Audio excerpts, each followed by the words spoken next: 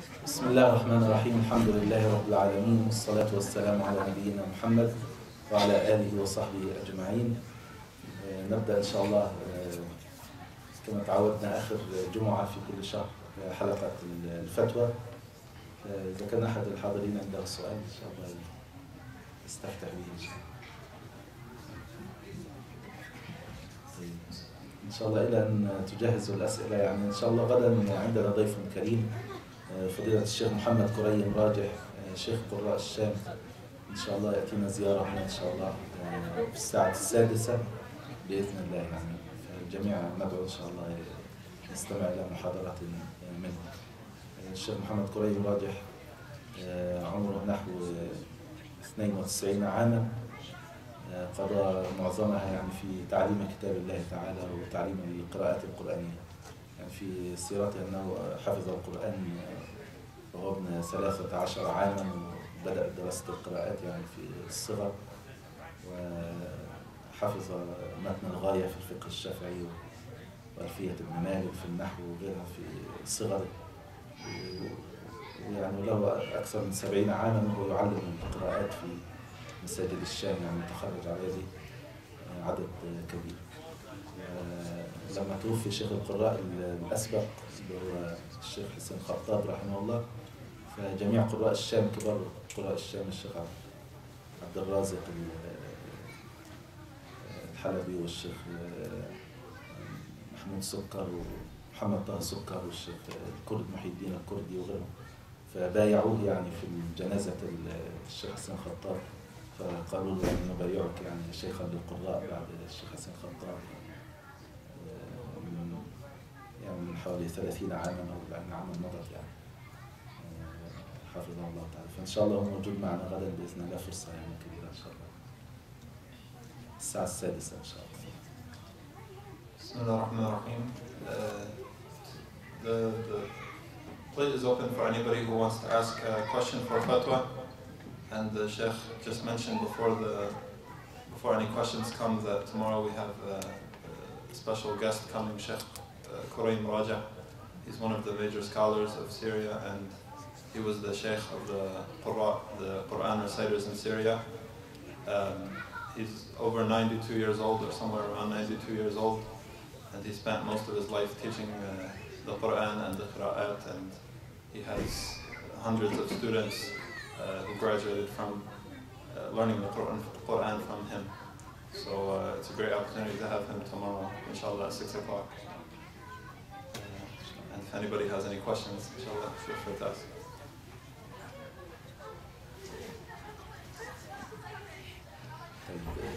فيش أسئلة ممكن يعني نلخص كان موضوع الخطبة و يعني كان اليوم كنا نتكلم في موضوع خطبة يوم الجمعة اليوم آه، عن حديث شريف من حديث المصطفى عليه الصلاة والسلام من حديث أبي موسى الأشعري رضي الله عنه آه، أن النبي صلى الله عليه وسلم آه، نزل بأعرابي فأكرمه. النبي عليه الصلاة والسلام نزل بأعرابي فأكرمه نزل ضيفا عند أعرابي فهذا الأعرابي أكرم النبي صلى الله عليه وسلم. فقال له النبي صلى الله عليه وسلم تعهدنا إيتنا تعهدنا إيتنا يعني آه، تعالى إيه زرنا طلب منه النبي عليه الصلاة والسلام أن يأتي هو لزيارة النبي عليه الصلاة والسلام وأن يجيء إليه. فأتاه الأعرابي جاء إلى النبي عليه الصلاة والسلام. فقال له النبي صلى الله عليه وسلم ما حاجتك؟ أراد النبي عليه الصلاة والسلام أن يكافئه. قال له ما حاجتك؟ قال ناقة أركبها وأعنز يحلبها أهلي. ناقة أركبها وأعنز يحلبها أهلي. فالتفت النبي صلى الله عليه وسلم إلى أصحابه وقال عجز هذا أن يكون مثل عجوز بني إسرائيل. عجز هذا أن يكون مثل عجوز بني إسرائيل. فقال له أصحابه أصحاب النبي عليه الصلاة والسلام قالوا للنبي عليه الصلاة والسلام وما عجوز بني إسرائيل يا رسول الله؟ Uh, before, if we don't have any questions, inshallah, we will start with the, topic of the khutbah today. The Sheikh was saying the, the hadith of uh, Abu, Abu Musa al-Ash'ari, that the Prophet ﷺ and some of the companions, they went to a, a Arabi who was a Bedouin, and uh, they stayed, or they, um, they went to his house and they were invited by him, and uh, this Bedouin person, he gave them uh, good food to drink, and he was a good host to them as guests. So the Prophet ﷺ, he told this Bedouin man, come visit us sometime. And uh, whenever you have the chance, come and visit us. So this Bedouin man, he did fulfill that and he came and he visited the Prophet ﷺ and the Prophet ﷺ hosted him this time. So the Prophet ﷺ said, ask me anything, what would you like? So the the Bedouin man, he told him, I would like a camel to ride and uh, some, some goats for us to, to milk, or for our family to milk them. So the Prophet ﷺ said after the Bedouin man made this request, he said, this person, well, he was not able to be like uh, the old woman from Bani Israel. He was not able to be like uh, the old woman from Bani Israel. And the, the Sahaba asked the Prophet ﷺ, what did he mean by this statement? فقال لهم النبي عليه الصلاة والسلام إن إن موسى عليه السلام لما أراد أن يخرج ببني إسرائيل من مصر ضل عليهم الطريق. خرج ببني إسرائيل يعني هاربين من فرعون وجنوده يريدون الذهاب إلى سيناء قال ضل عليهم الطريق. فقال موسى عليه السلام ما هذا؟ فسأل علماء بني إسرائيل. فموسى عليه السلام سأل علماء بني إسرائيل فقالوا له إن نبي الله يوسف عليه السلام عهد إلينا ألا نخرج من مصر حتى ننقل عظامه معنا. حتى ننقل عظامه معنا. ف وهنا يعني عظامه في هذا الحديث المقصود بها بدنه أو أو إيه؟ أو جسده يعني. قال حتى ننقل عظامه معنا والمقصود بدنه أو جسده لأن الأرض لا تأكل أجساد الأنبياء. والعظام بمعنى البدن هذا مستعمل في بعض الأحاديث زي حديث المنبر لما صنعوا للنبي عليه الصلاة والسلام المنبر قالوا نصنع لك منبرا تحمل عليه عظامك. هذا زي تحرير رقبة يعني مرات إيه يطلق الجزء ويراد الكل يعني. فقال حتى ننقل عظامه معنا. فسأل موسى عليه السلام يعني أيكم يعرف أين عظام نبي الله يوسف عليه السلام؟ قالوا لا يعرف موضعها إلا امرأة إيه إلا هذه المرأة العجوز. أشاروا إلى امرأة عجوز من بني إسرائيل. هي الوحيدة التي تعرف موضع الإيه يعني جسد يوسف عليه السلام. فذهب إليها موسى عليه السلام وسألها أين موضع عظام يوسف عليه السلام. فقالت لا أخبركم حتى تعطيني حكم. قالت لا أخبركم حتى إيه؟ تعطيني حكم. قال وما حكمك؟ قال وما حكمك؟ قالت أن أكون مرافقتك في الجنة. أن أكون مرافقتك في الجنة. فكأنه كره ذلك. عليه السلام. موسى عليه السلام كره إيه؟ ذلك. ف. فكأنه كره ذلك فأوحى الله تعالى إليه أن أعطيها حكمه. أوحى الله تعالى إليه أن أعطيها حكمه. فأعطاه بوحي من الله تعالى. يعني قال لها طلبك إيه؟ يعني مستجاب. فأخذتهم إلى أرض مستنقعة. يعني أرض منخفضة وقد إيه؟ غطيت بالماء. فقالت لهم انضحوا. يعني أزيلوا الماء جففوا هذا الموضع. يعني الماء ضحل كده يسير غطى الأرض فقالت لهم انضحوا يعني جففوا هذه الأرض وأبعدوا هذا الماء. فنضحوا الماء. فقالت لهم احفروا. أشارت إلى موضع وقالت لهم احفروا. فحفروا في هذا الموضع فوجدوا إيه؟ جسد نبي الله يوسف عليه السلام. آه، فلما أقلوه من الأرض مجرد أن حملوه آه، وأخرجوه من الأرض وحملوه آه، إذا بالطريق مثل ضوء النهار. آه، كانوا مش عارفين كيف الطريق الموصل إلى سيناء واشتبهت عليهم الطرق وعجزوا عن الاستدلال على الطريق الموصل إلى سيناء. فأول ما حملوا عظام أو جسد يعني نبي الله يوسف عليه السلام إذا بالطريق مثل ضوء النهار فحملوه معهم إيه وساروا به. هذا الحديث رواه الحاكم آه، وصححه ورواه ابن حبان في صحيحه وصححه الذهبي والألباني وغيره فهو حديث آه، صحيح من أحاديث المصطفى عليه الصلاة والسلام The remainder of the hadith is that when the Prophet ﷺ said, uh, Could this uh, Bedouin man be like the uh, old woman from Bani Israel? And the Sahaba asked him, What is this old woman from Bani Israel? What is her story?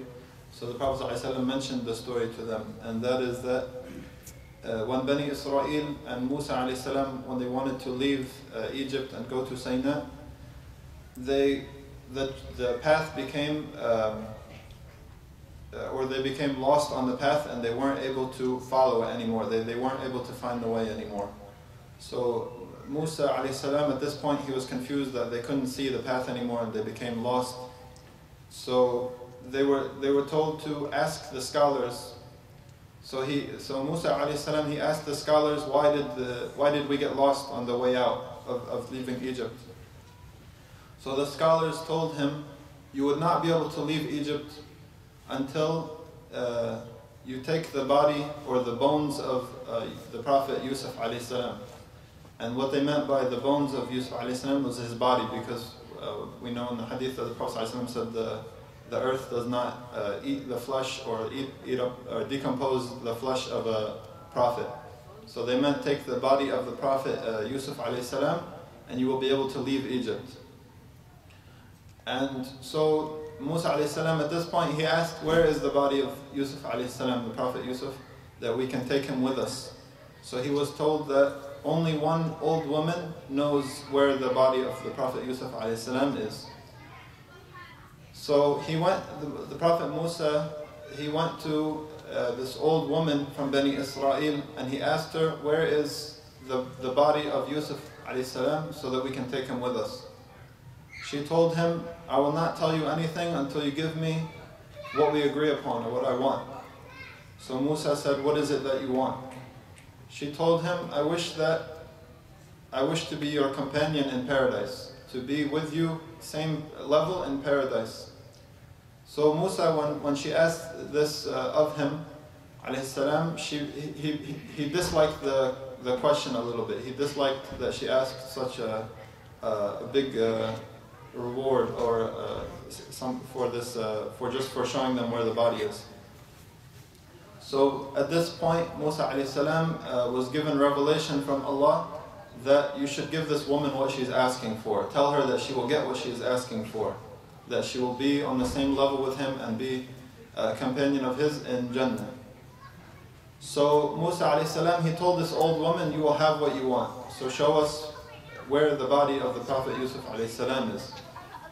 So she took them to a place that was a swampy area. It was uh, um, there was the land was covered with water and was similar to a swamp.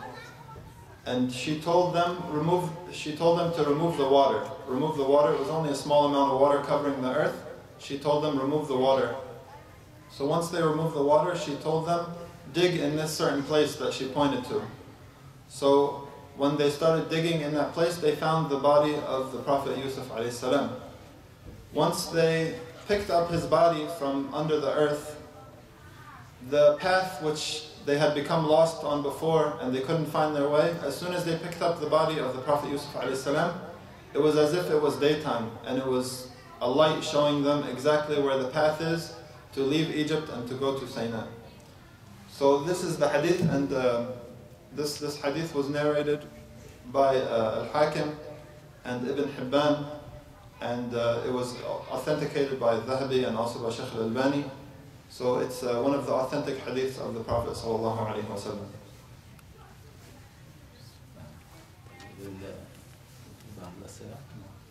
نجاوب على الأسئلة إن شاء الله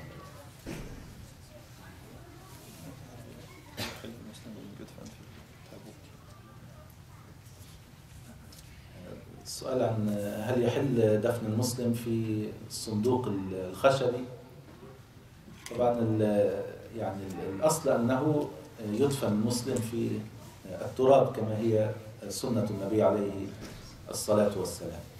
فإذا كانت يعني القوانين في بعض المناطق يعني لا يسمحون بهذا ويجبرون ال- يعني المسلمين على الدفن في صندوق خشبي فيكون هذا من باب الضرورات يعني يكون هذا من باب الضرورات فيجوز للضرورة لكن إذا كان هناك يعني إمكانية لإخراجه من الصندوق أظن هنا في مينيسوتا ب- بالإمكان إخراجه من الصندوق يعني بينزلوا الصندوق ثم يخرجونه صحيح؟ مش عايز حد كان حد يؤكد المعلومة هذه يعني. نعم؟ أذكر أنهم يخرجونه من الصندوق ولا؟ آه ما ما فيش صندوق أنا رأيتهم يعني فقط يحملونه بالصندوق إلى أن يصل إلى القبر ثم يخرجون الصندوق ويدفنون البدن بدون الصندوق. فإن كان يعني القانون يسمح بهذا فهذا هو ال- السنة يعني وهو هدي النبي عليه الصلاة والسلام. إذا كان القانون يجبر على استعمال الصندوق يكون هذا من باب الضرورة إن شاء الله. لكن حتى يوضع الإيه؟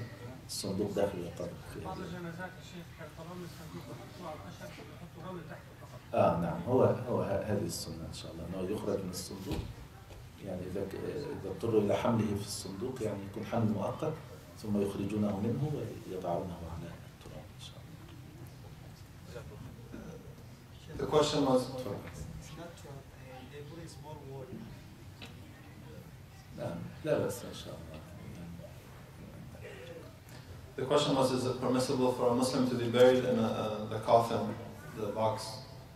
And the answer is that it's permissible if it's, uh, if it's for necessity, if the laws of the land require that.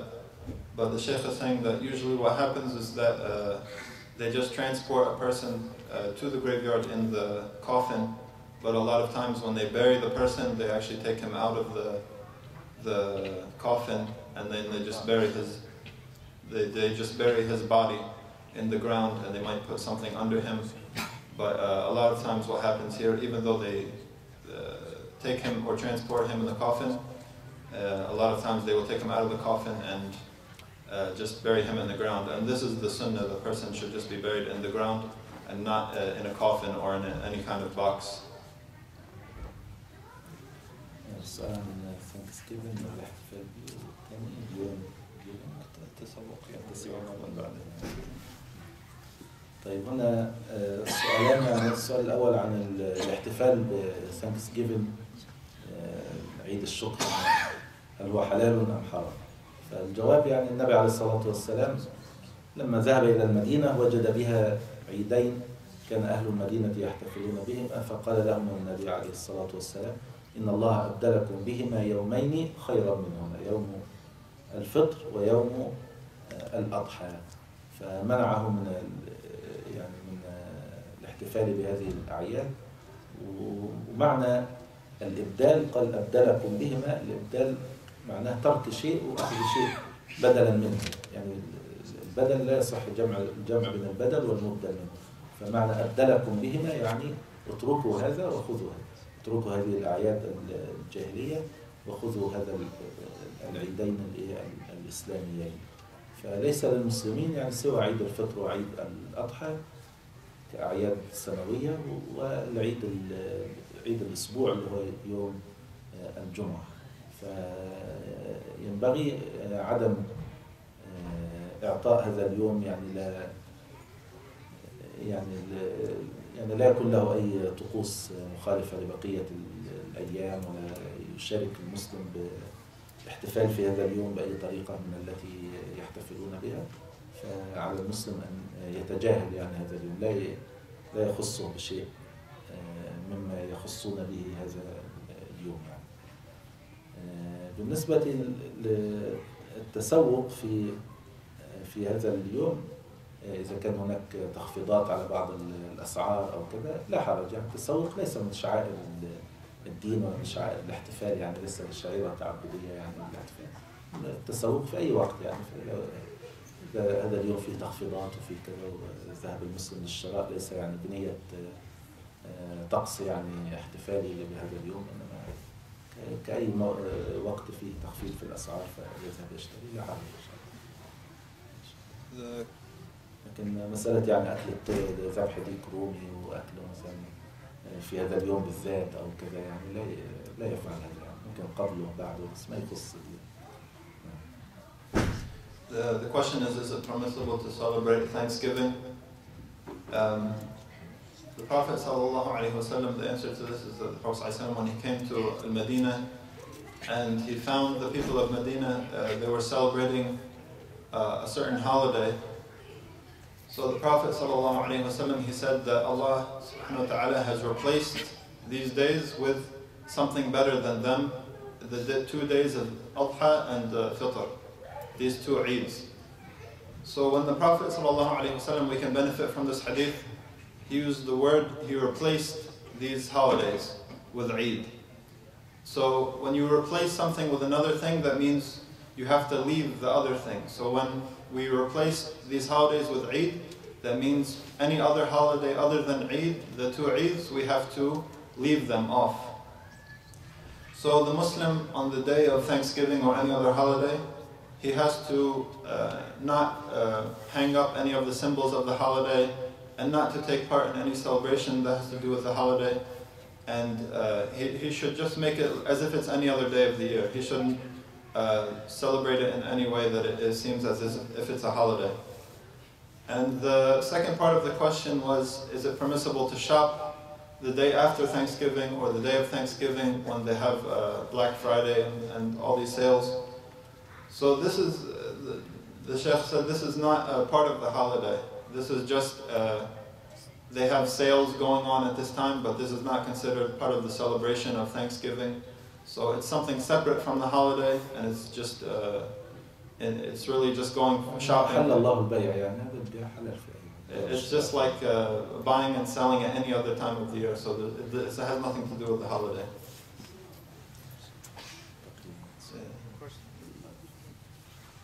So, alhamdulillah, jazakallah That's uh, actually a good topic to speak about. Uh, so in regards to Thanksgiving, sometimes, you know, how uh, some of these uh, non uh, non Muslims they give you gifts.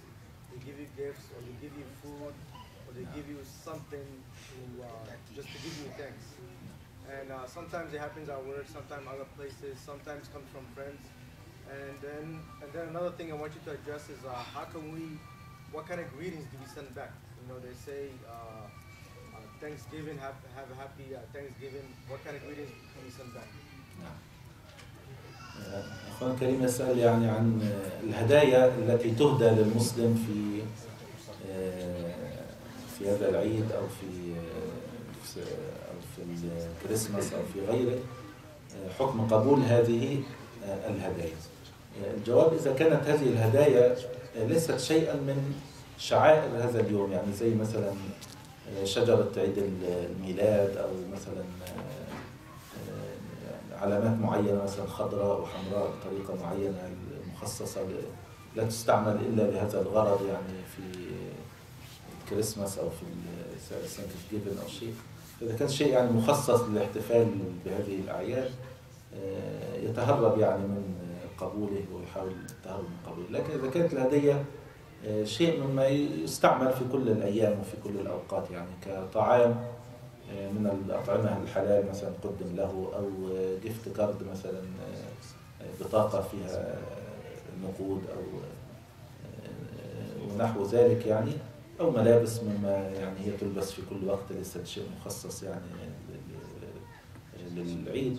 فيجوز للمسلم آه، قبولها. وورد في هذا أثر صحيح عن علي رضي الله عنه في سنن البيهقي. وأورده الشيخ الإسلام ابن تيمية رحمه الله واستدل به على جواز قبول هدايا المشركين في أعيادهم إذا كانت يعني شيئا حلالا مما يعني يمكن استعماله في غير الاحتفال بطقوس العيد. آه، فورد آه، أن علي رضي الله عنه أهدى إليه المجوس آه، طعاما في يوم النيروز وهو يوم عيد يحتفلون فيه يقال له عيد النيروز. فأهدوا إليه إيه؟ طعاما. آه، فسأل ما هذا الطعام؟ قالوا قالوا النيروز. يعني الطعام نفسه مسمينه النيروز. فقال علي رضي الله عنه قال نورزونا كل يوم. يعني بعثوا لنا منه كل يوم. وأكل منه رضي الله عنه وارضاه قال نورزونا كل يوم وأكل منه رضي الله عنه. فشيخ الإسلام أورد يعني هذا الأثر في كتاب اقتضاء الصراط المستقيم. وقال يعني هذا دليل على جواز قبول هدايا المشركين في اعيادهم اذا كانت الهديه يعني طعاما أو نقودا أو شيئا يعني ليس من خصائص شعائر الدين. The, the first part of his question was about uh, if somebody gives you a gift on a holiday, uh, is it permissible to accept or you have to reject their gifts? The answer to this is that if the, if the gift they give you on a holiday is specific to that holiday, for example, um, on Christmas, if they give you something that's like a Christmas tree, or they give you something that's like uh, green and red, which is the symbol of Christmas, or anything other specific uh, to a certain holiday, you have to try to reject it uh, without being offensive. But uh, if you are given a, a gift that is just a random gift that has nothing to do with the holiday, for example, a gift card, or they give you some money, or they give you uh, some clothing, which is not specific to this holiday, then it's permissible to accept it. Uh, Shaykh al-Islam ibn Taymiyyah, he, he, he took the opinion that it's permissible to uh, accept the gifts of the mushrikeen on their holidays even, and he uh, used uh, as, an, as proof for this, this opinion that Ali ibn Abi Talib radiallahu anhu, uh, when he was in the lands of the Persians, they have a holiday called uh, and they made a specific food on that holiday, which this food is also called Nayruz, just like the name of the holiday. So when they brought it to Ali ibn Abi Talib anhu, um, he, he said, What is this? And they told him, This is Nayruz, the food. So he told them, Make for us uh, this uh, every day. Make, make it for us every day, meaning you could give it to us any, other, any day also. So this, this uh, athar from Ali ibn Abi Talib radiallahu anhu, it shows that it's permissible to accept their, their gifts that they give you on their holidays, as long as it's not a gift which is uh, specific to, um, to that certain holiday. بالنسبة للتهنئة يعني إذا هنأ ال يعني المشركون هنأوا بال- بالعيد بأعيادهم فلا يرد بتهنئتهم بأعيادهم يعني لا يرد بتهنئتهم بأعيادهم لكن في نفس الوقت من باب يعني وإذا حييتم تحية فحيوا بأحسن منها أو ردوها يعني الإنسان يرد بكلمة طيبة فيمكن أن يشكرهم يعني إذا قال يقول أنا أقدر لكم ذلك ويعني أشكركم على التهنئة وأتمنى لكم الصحة وال- والتوفيق يعني يعني يرد بكلمات طيبة وكذا بس يعني يحاول يتحاشى أن يقول لهم يعني عيد سعيد أو كل يعني يحاول يتحاشى يعني التهنئة بعيدهم ويرد لكن يرد ردا طيبا يعني ويقول للناس حسنى يعني يرد ردا حسنا يشكرهم فيه ويدعو لهم The, the second part of the question was uh, regarding getting uh, greetings for that holiday. Like if somebody says uh, Happy Thanksgiving or Happy Holidays or Merry Christmas or something. So it's not permissible to uh, give them the greeting back. It's not permissible to say to them uh, Merry Christmas or anything like that. But um, using as evidence the, the, the ayah in the Quran that if you are given a greeting, then return it or give something better than it or at least return it equally. So as Muslims, we should try to return their greeting, but in a way that doesn't have anything to do with their holiday. So you could say uh, some nice words, uh, something that indicates that, you know, I hope you got, I hope you have uh, good health. I hope you enjoy your time, or something like that, or thank you for, you know, uh, you can thank them for what they're saying, or something like that. But you would never uh, return their greetings by saying Merry Christmas or Happy Holidays or anything like that. This is what would be in, impermissible.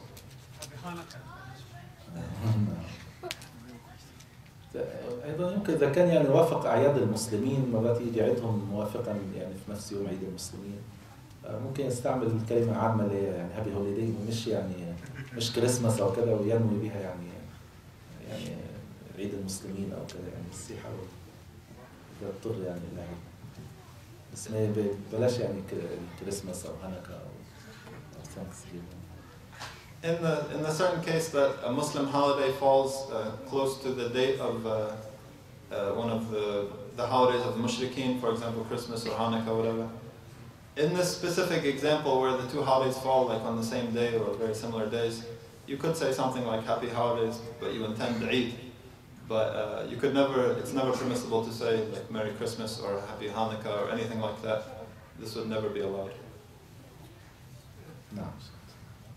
Fadal. Uh, still, uh, the question is going regarding with the holiday. Uh, sometimes people, family are not, I mean, they are busy. and Particularly this, of, like today is Friday, and we, people that were working, and the family, sometimes they get together with that day. So how is it permissible for that? I mean, family. لا حرج يعني لو يعني بيحصل يحصل في هذه الاعياد آه، يعني طالما نحن نقيم هنا في الغرب أو كذا فهذه الاعياد ال- الاولاد ياخذون عطله في المدارس والاباء والامهات يعني آه، أيضا يكونون عطلة من الأعمال أو كذا فتجتمع الأسرة في هذا الوقت. لا حرج يعني في الاجتماع إذا الإنسان عطل عن العمل في هذا الوقت أو كذا لا حرج إن شاء الله. الاجتماع في هذه الحالة يجتمعون على طعام يجتمعون على كذا.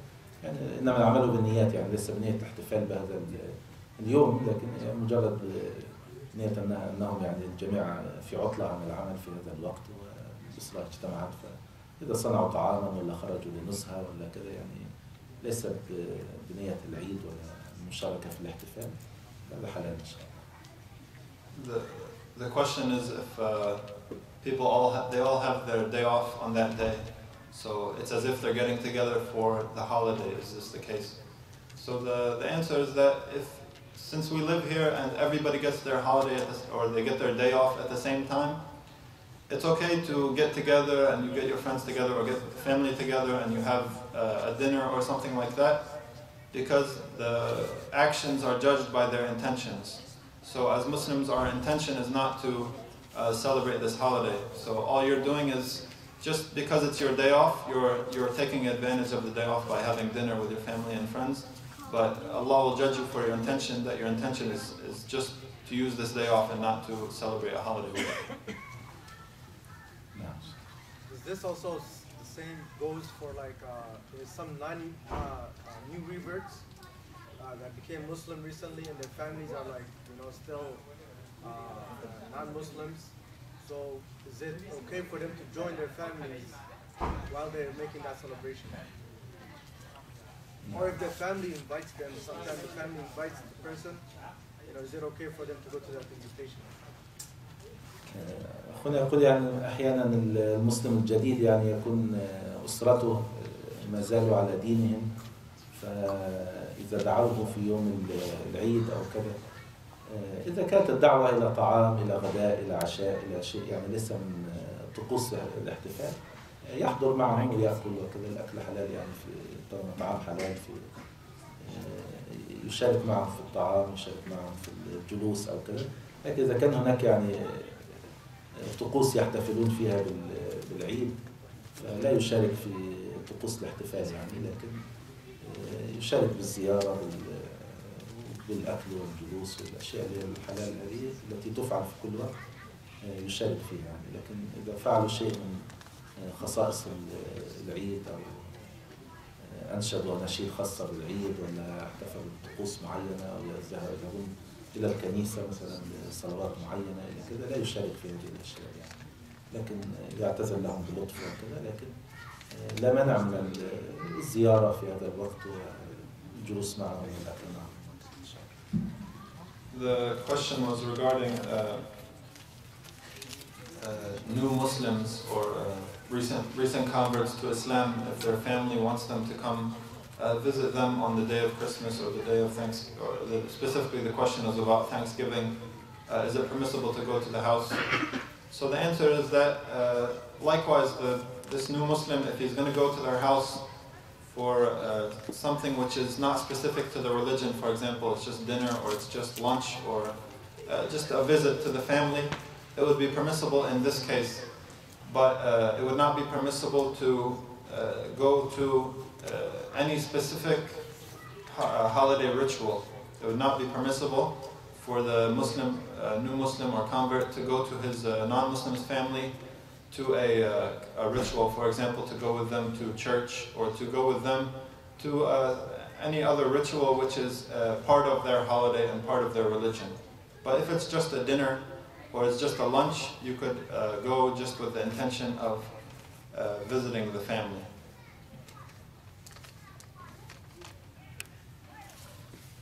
هذا السؤال عن آه، مسألة آه، اختلاط المرأة المسلمة في العمل مع آه، الرجال إذا كانت تحترم شروط اللباس وغض الص- الصوت والبصر وكذا إلى آخره. يعني هو في الحقيقة كلمة ال- الاختلاط يعني ك نعم كلمة الاختلاط كتعبير يعني ينظر في المراد به والمقصود به.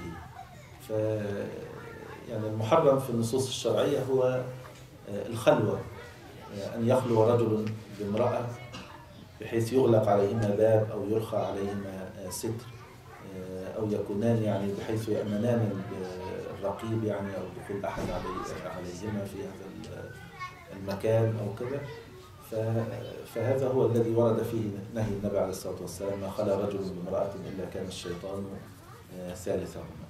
آه، لكن آه، وجود رجال ونساء مثلا في غرفة واحدة أو في موضع واحد فهذا يعني كان النبي عليه الصلاة والسلام في مسجده الشريف. كنا النساء يصلين خلف الرجال في المسجد وكان عليه الصلاة والسلام يعني بعد الصلاة ربما وعظ الناس ربما ذكرهم وكذا والنساء خلف الرجال. وفي بعض الأحاديث كانت ربما تقوم امرأة في آه، وتسأل النبي عليه الصلاة والسلام في وسط الدرس ويجيب عن سؤالها وكذا إلى آخره.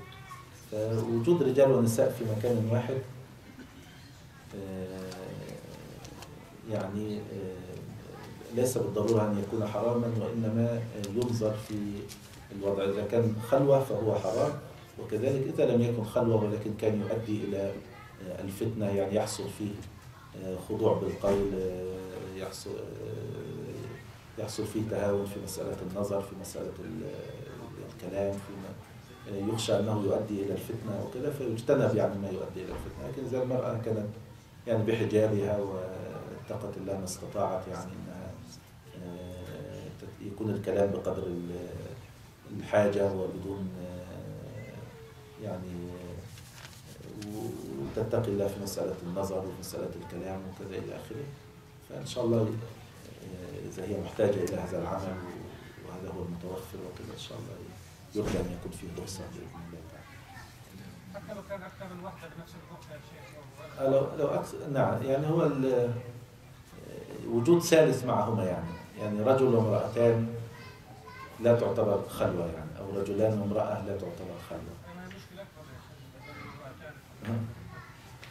لا تعتبر خلوة يعني في هذه الحالة لكن يبقى يعني أن هذا إذا كان يعني ذريعة إلى الفتنة أو الفساد أو كذا يعني وليس في يعني يمنع إذا أدى إلى منكر أو أدى إلى كذا. لكن إذا اتقوا الله يعني استطاعوا وكذا إن شاء الله يكون فيها رخصة إن شاء الله is it permissible, the question is for, uh, what or what is the meaning of free mixing, اختلاط, uh, in Islam, and could a woman uh, work uh, in a place where it's like uh,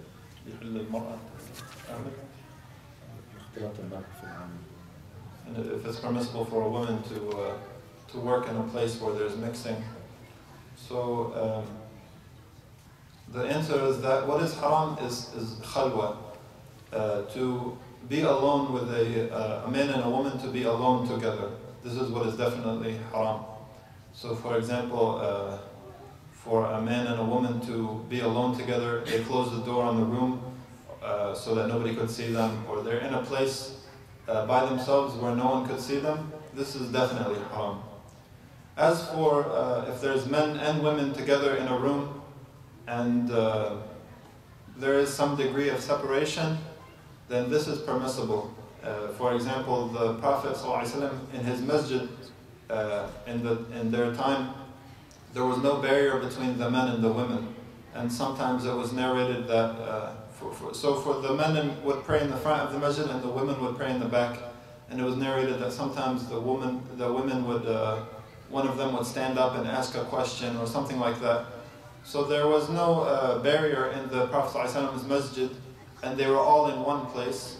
So this is something that's permissible for the men and women uh, to be in one room or one place together if the guidelines are being um, taken care of. But um, this is not like a free pass. So if, if they, even if the men and women are together uh, in the same room, but there's more than one man and one woman, it would still not be permissible um, if there's a fear of fitna, if there's a fear, for example, of either the woman or the man looking too much at uh, the opposite gender and uh, joking around with each other, uh, or um, the woman using words that are kind of soft and uh, uh, could be attractive to a man without realizing it or with realizing it.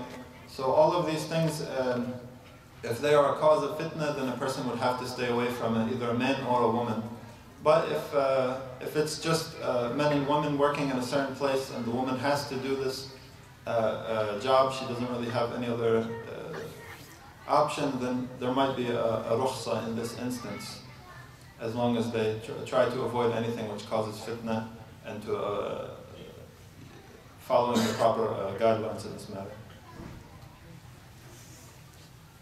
آه، السؤال عن آه، حكم ذهاب المسلم لطبيبة وهل في ذلك آه، حرج في حالة الضرورة فأيضا يعني الأولى والأحسن أنه يعني الرجل يذهب آه، إلى طبيب رجل والمرأة تذهب إلى طبيبة آه، امرأة إن آه، كان هذا متيسرا. إذا لم يتيسر هذا مثلا يكون مرات ال- العيادة مثلا التي يعالج فيها ويكون هو هذا هو الطبيب المتوفر في هذا الوقت مثلا رجل وهي امرأة أو العكس أو كذا أو مثلا يكون مثلا المرأة يعني أكثر تخصصا في مجال معين هو يريد مثلا طبيب متخصص في مجال معين المتوفر امرأة مثلا هو رجل أو المتوفر رجل وهي امرأة آه، الطبيب اللي هو من نفس الجنس مثلا أقل خبرة أو أقل آه، يعني إتقانا لل- لل- للسبب الذي ذهب إليه أو كذا.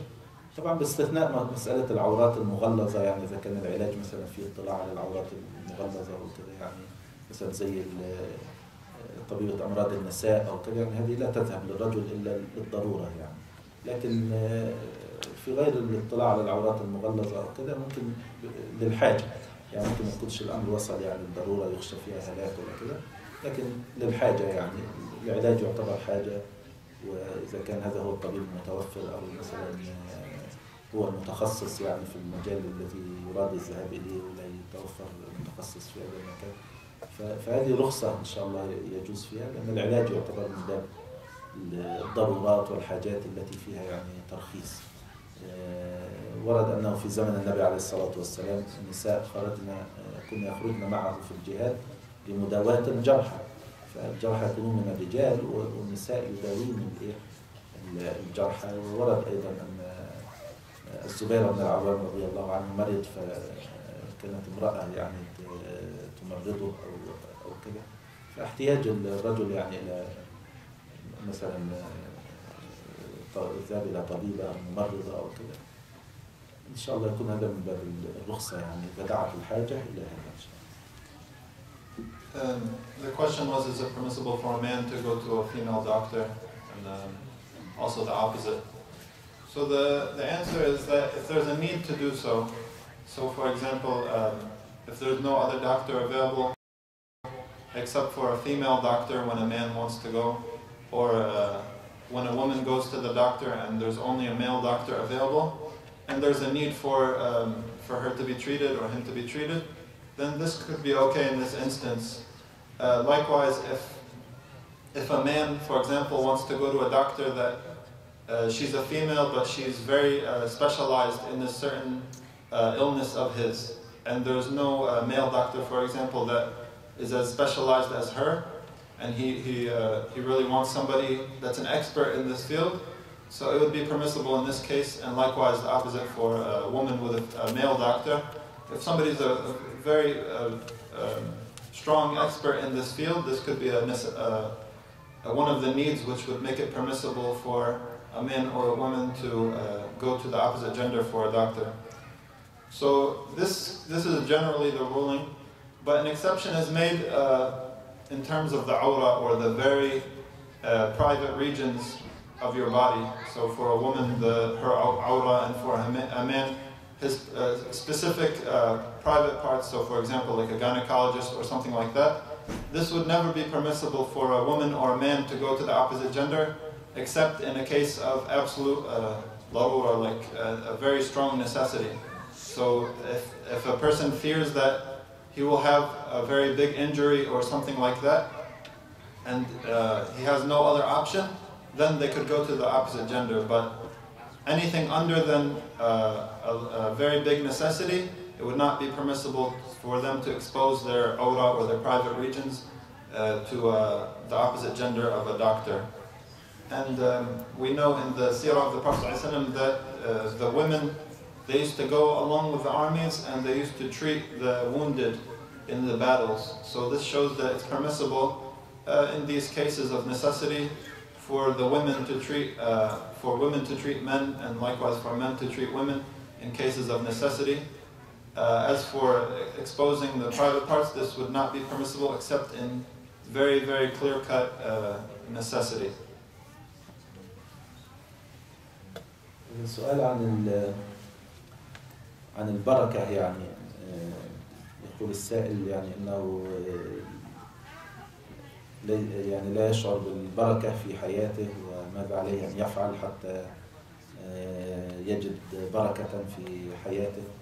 فالجواب يعني ال- البركة البركة هي يعني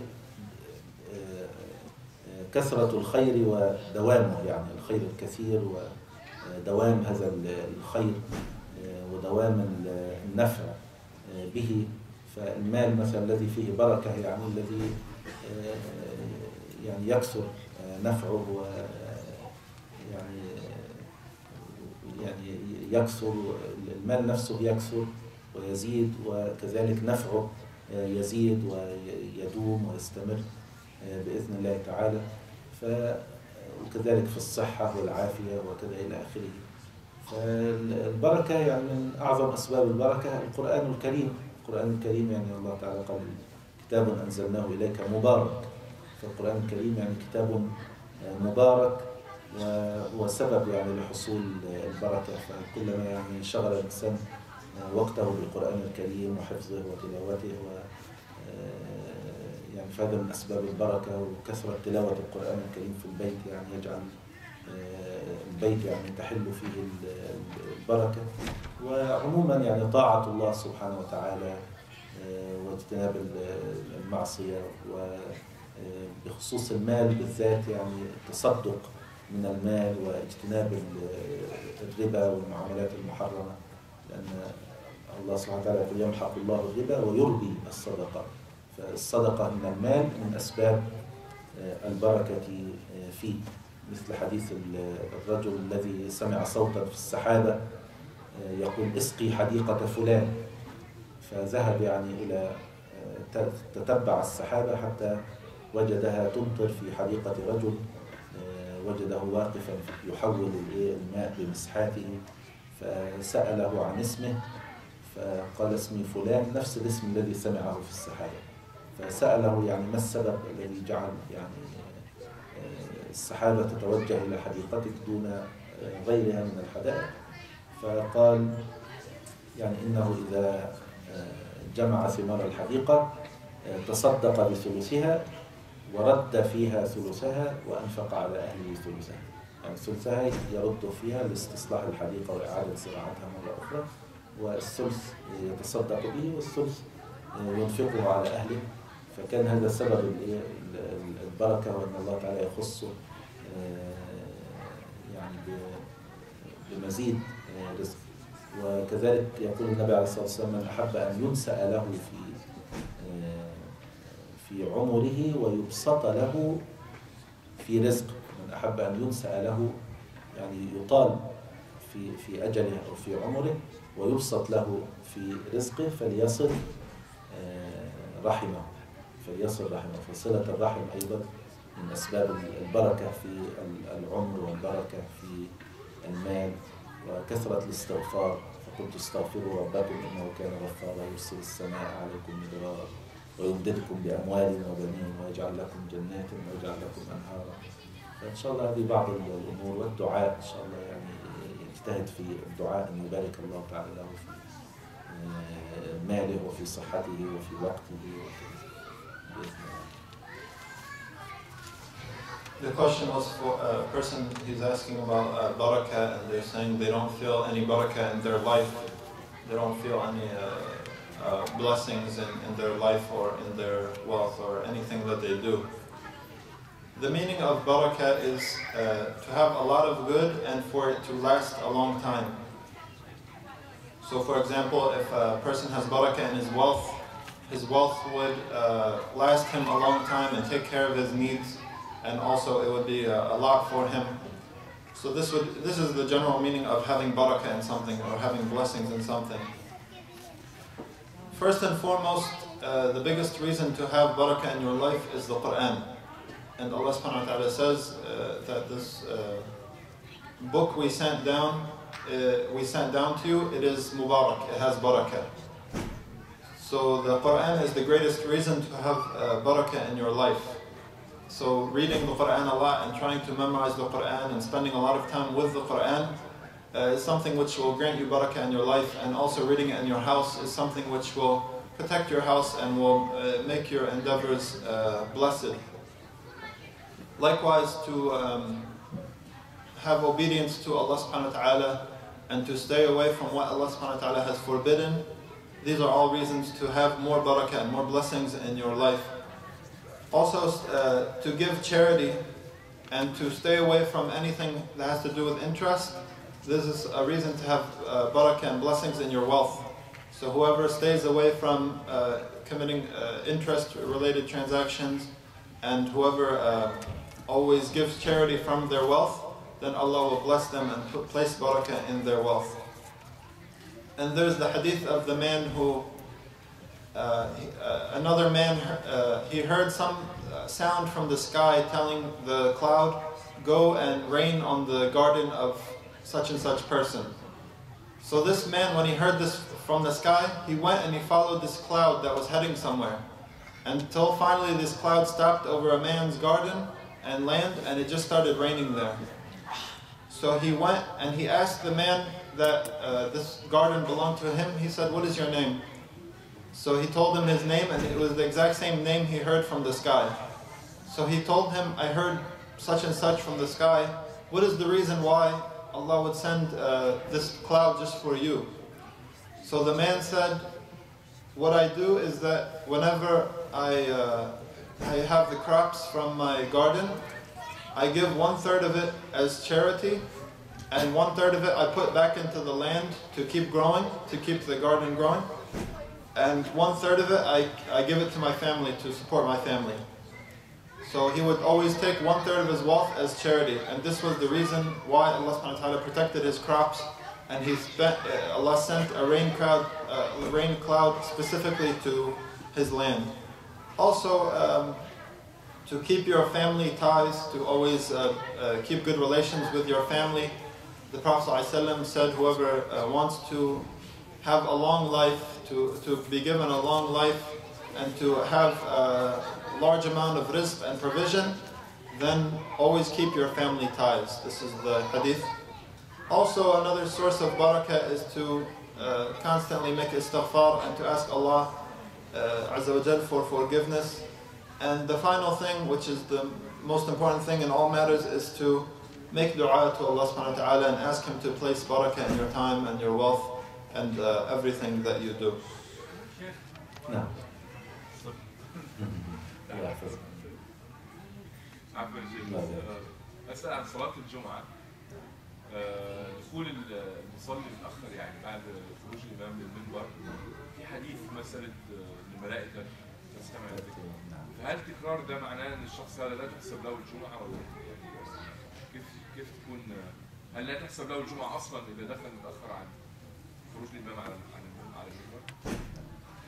أخونا يسأل يعني عن عمن يأتي إلى الجمعة متأخرا يعني بعد أن يصعد الخطيب على المنبر يوم الجمعة كما تعلمون الحديث الشريف يعني عن عن الملائكة أخبر النبي عليه الصلاة والسلام عن الملائكة الذين يقفون على أبواب المساجد يوم الجمعة يكتبون الأول فالأول النبي عليه الصلاة والسلام أخبر أن الملا- الملائكة آه، يعني صنف من الملائكة يعني خصصهم الله سبحانه وتعالى لذلك يقفون على أبواب المساجد يوم الجمعة يكتبون الأول فالأول فمن راح في الساعة الأولى فكأنما قرب بدنا. ومن راح في الساعة الثانية فكأنما قرب بقرة الأولى بدنا اللي هي ناقة يعني. وفي الساعة الثانية فكأنما قرب بقرة. ومن راح في الساعة الثالثة فكأنما قرب آه، كبشا. ومن راح في الساعة آه، الرابعة فكأنما قرب دجاجة. ومن راح في الساعة الخامسة فكأنما قرب بيضة. هذه الرواية المشهورة خمس ساعات. في رواية أخرى فيها ست ساعات. قال ومن راح في الساعة الخامسة فكأنما قرب عصفورة بعد الدجاجة فيها عصفورة ومن راح في الساعة السادسة فكأنما قرب بيضة. فإذا آه، يعني فإذا حضر الإمام آه، طويت الصحف وجلست الملائكة يستمعون الذكر. الملائكة يأتون الصحف التي يكتبون فيها أسماء الداخلين. فأول ما يعني يدخل الإمام للخطبة الملائكة يأتون الصحف ويجلسون يستمعون الذكر مع المصلين. خلاص ما ما يجي بعد كده لا لا يكتب له شيء. آه، نعم. آه، جمهور الفقهاء يعني قالوا هذه الساعات يعني من الفجر إلى الجمعة. يعني يقسم الوقت من الفجر إلى الجمعة. إما خمسة أقسام أو ستة أقسام حسب الروايتين آه، خمس ساعات أو ست ساعات. مش بالضرورة ساعة يعني بالضبط حسب الساعات المتعارف عليها. ممكن تكون أطول شوية أو أقل شوية حسب يعني طول النهار والقصر يعني تقسم الوقت من الفجر إلى صلاة الجمعة خمسة أقسام. آه، وكل قسم إيه فيه يعني آه، ثواب من يأتي في هذا ال- الوقت. يعني اللي يريد بدنة هذا يصلي الفجر ويطلع على المسجد. من الفجر يعني حتى ينال البدنة الساعة اللي بعدها البقرة واللي بعدها الكبش وكذا إلى آخر شيء اللي هو البيضة إلى أن يأتي ال- الإمام فالقصد هنا يعني من كان يأتي متأخرا بعد دخول الإمام أو كذا هذا لا يكتب له ثواب التبكير إلى الصلاة لكن جمعته محسوبة إن شاء الله. من جهة قبول الجمعة طبعا تفاوت في الأجر والثواب لكن الجمعة آه، تحسب آه، للمصلي يعني حتى لو أدرك آه، ركعة واحدة من الجمعة آه، تعتبر جمعة. لكن لو فاتته الركعة الأخيرة يعني الإمام رفع من الركوع الثاني قبل أن يدخل المصلي خلاص أصبحت ظهرا فاتته الجمعة. آه، لكن يعني أمر الله سبحانه وتعالى قال إذا نودي للصلاة من يوم الجمعة فاسعوا إلى ذكر الله وذروا البيع أول ما ينادى للصلاة المقصود النداء اللي هو يعني الذي يكون بعد صعود الخطيب على المنبر ويقول السلام عليكم ويجلس ثم يؤذن. فهذا الأذان يعني يجب على من سمعه أو يعلم أن هذا هو دخول وقته أنه يترك ما بيده ويذهب إلى المسجد. فإذا دخل يعني بعد أن طويت الصحف وفاته ثواب البيضة أو كذا لكن الجمعة تحسب له إن شاء الله ينال أجرها لكن لا شك أنه أنقص مما ذكر السلام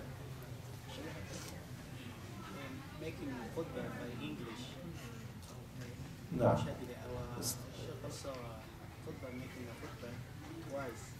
نعم.